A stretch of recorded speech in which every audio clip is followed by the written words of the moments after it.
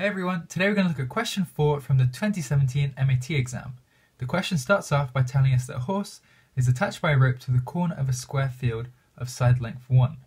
And for part I, we need to work out what length of rope allows the horse to reach precisely half the area of that field. So I've drawn out the square field with side length 1. This means the total area is going to be 1, and we need to work out the length of the rope, I've called it L, such that this region here is equal to half, which is half the area of the region. So we want 1 half to be equal to this area here, and this is a quarter of a circle. So if we use the area, the equation for the area of a circle, which is pi r squared, which is L squared in this case, and that's the area for a whole circle, but we've got a quarter of a circle, so I'm just going to divide here by 4.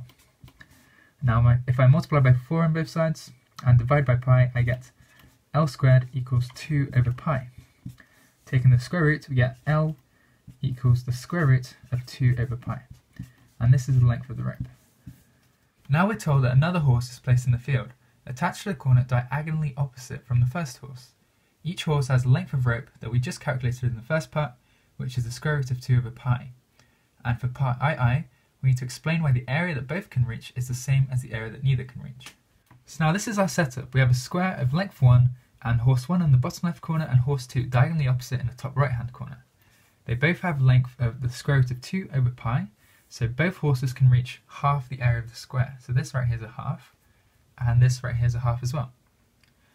We also know that the area of the total square is 1, and the half plus the half is 1. So if they didn't overlap, if these regions didn't overlap, then the horses would be able to reach the whole field. But as they overlap, the area that overlaps must negate the area that they don't overlap. So this area right here has got to equal the sum of these two areas. So if I label this 1, this 2 and this 3, then we can deduce that 1 equals 2 plus 3 using this argument. For part III, we're shown a diagram of the field and the two horses and the areas they can reach, so the same setup we've had before. On it they've marked an angle called alpha, and we need to show that alpha equals cosine to the power of minus 1 of the square root of pi over 2. And then we need to go on to find the area that neither horse can reach. Okay, so this is our diagram, and we need to find what the value of alpha is. The first thing I'm going to do is drop a perpendicular from a diagonal, so up here, that meets with the intersection of these two curves. So this is perpendic perpendicular to the diagonal.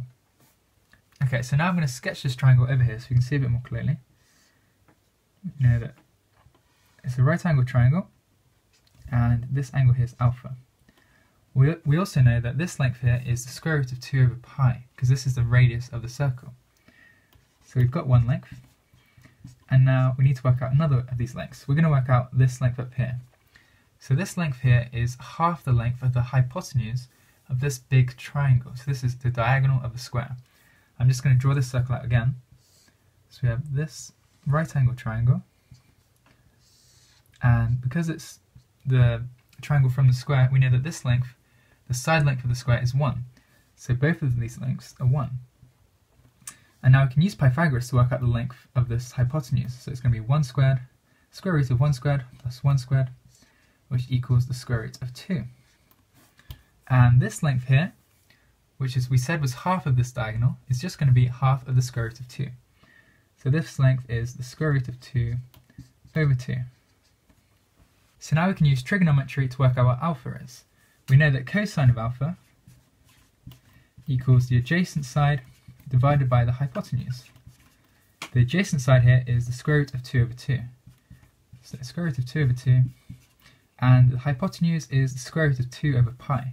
So we can multiply this by the reciprocal. So the square root of pi over 2. And the square roots here are going to cancel out. The square root of 2 is going to cancel out. And we'll just be left with the square root of pi over 2.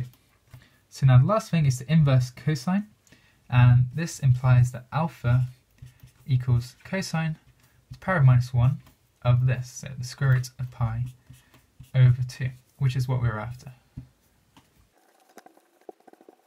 Now the question is asking us to work out the area that neither horse can reach, so this area plus this area. But from the previous part of the question, we worked out that the area that neither horse can reach is equal to the area that both horses can reach. So it'll be easier just to work this out.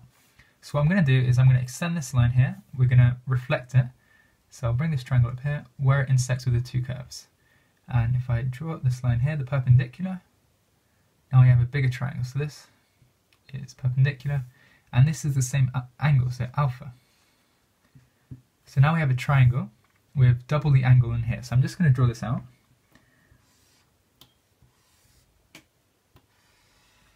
And this angle is 2 alpha, 2 alpha, and this length is still the square root of 2 over pi. Now we also know that if I draw the, the intersecting line through the middle, then this length is the square root of 2 over 2.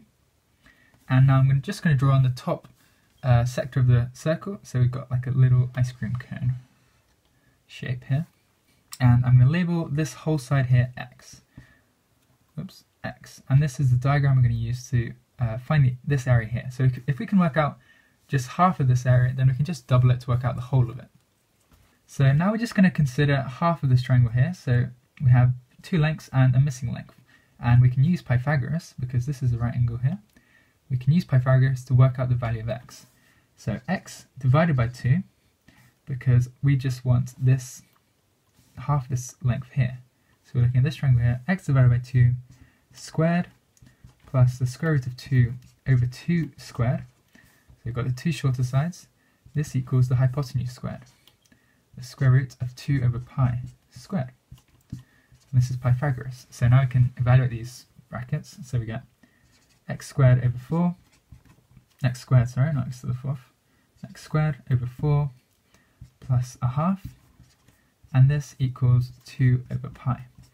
So I'll bring this onto the other side and multiply everything by 4, get x squared equals 8 over pi minus 2. Now we can take the square roots and we'll get that x equals the square root of 8 over pi minus 2, but we can simplify this a little bit. So I'm just going to take a 4 out here, factor out a 4, and we'll get 2 over pi minus a half. And because 4 is a square number, we can just take it out of the square roots. So we get 2 times the square root, and we can simplify this a bit. I'm just going to cross multiply to get this all on one fraction, and we'll get 2 times the square root of 4 minus pi over 2 pi. And this is x, so we've just worked out what x is here.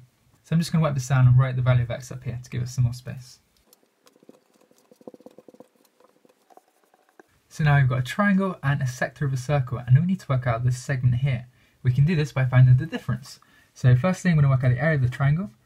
AT equals a half times the base times the height.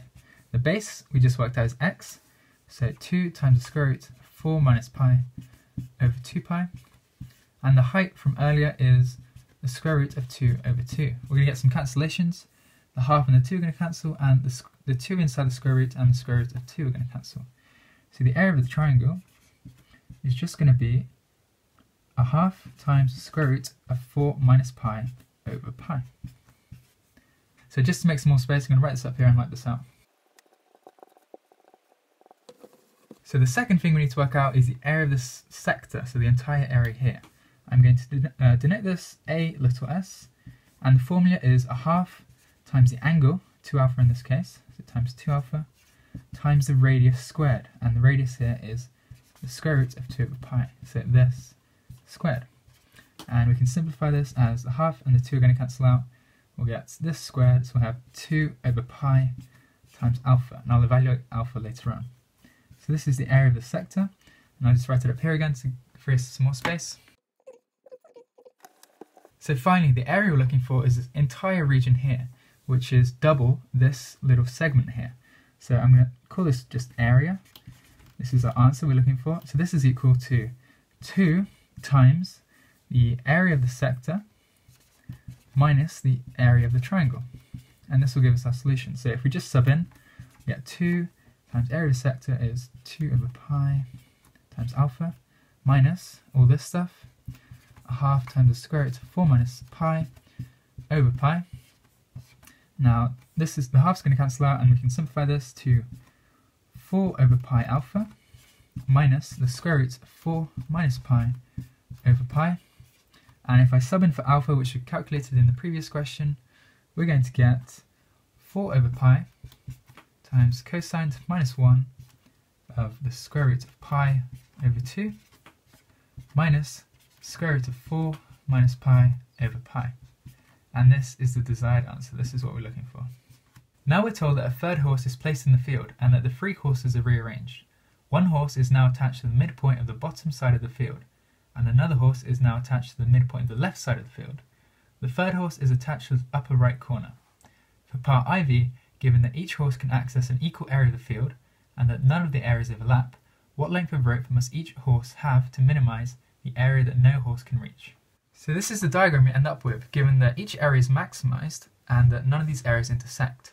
So these circles are just going to touch here, but this one is, isn't going to be anywhere near them.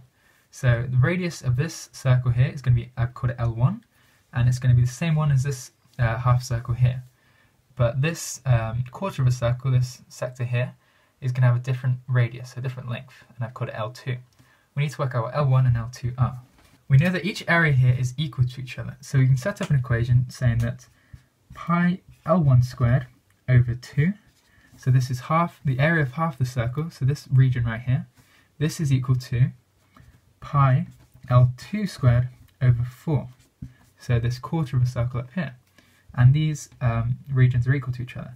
So now I can just cancel out the pi. I'm going to multiply by 4 and we're going to get 2 L1 squared equals L2 squared. So if we can work out just one of these values, then we can work out the other using this equation. What I'm going to do now is draw a line connecting these midpoints right here. So it's going to go straight through the contact of where these circles intersect. And now we've got a right angle triangle. So I'm just going to draw it out again. We have right angle triangle here. And we know that the length here is half because it's a midpoint of this side. And it's the same for this side here. This is a right angle triangle.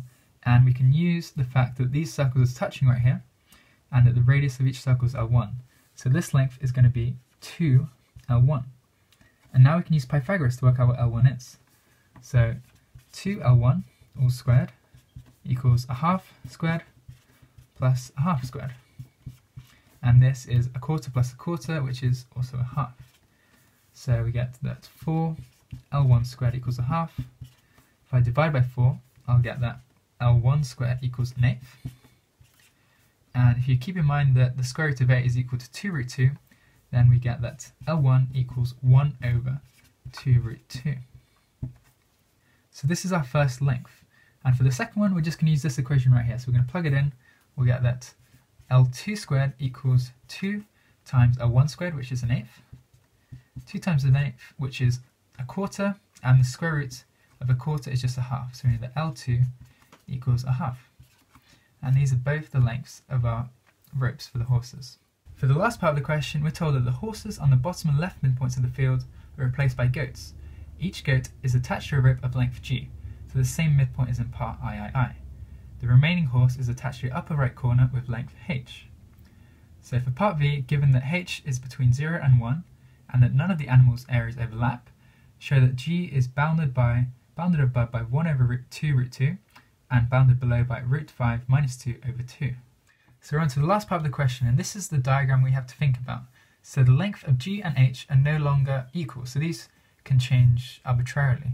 So this is the area the goats can reach, and this is the area the horse, horse can reach. And these areas are maximized. So we're going to want these uh, circles to just touch here. Now we need to bound g above and below. Now if you remember from the previous question, we had that these circles just touched here and for them to not intersect, they can't go beyond this line here, which was what L, the length of L1 was. So from the previous question, we know that g is less than or equal to 1 over 2 root 2, which was the length of L1. So I'll just write from previous part. Previous part. Okay, now it gets a bit trickier. So we have to use a little trick. So what I'm going to do is use the blue pen and I'm going to draw a line from the midpoint of the bottom side here to this top right corner. So I'm going to pass through like this. Okay, and now we've got a right angle triangle. I'm just going to redraw it here for clarity. Right angle triangle again. So this is the right angle. This is the length of a half, because it's half of the side, which is 1. And this is 1. And we know that this length here is going to be this length here, so the radius of the goat, which is g, plus the radius of the horse, so that's h. So this length here is uh, g plus h. And now we can use Pythagoras. So I'm going to use the black pen. So g plus h squared equals 1 squared plus a half squared. And half squared is a quarter, 1 plus a quarter is 5 over 4. So if I square root this, we'll have g plus h equals the square root of 5 over 2. Now I'm going to subtract h, and I'm going to get g equals the root 5 over 2 minus h. We're given in the question that h is between 0 and 1, because it's got to be in this side length here.